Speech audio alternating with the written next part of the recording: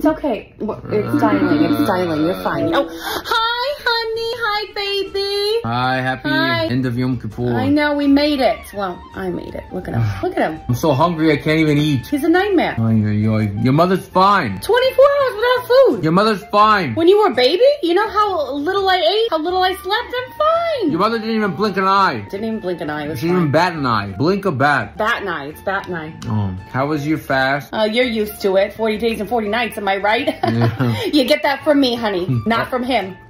You didn't fast, Jesus? You didn't fast? Why didn't you fast? Why didn't you fast?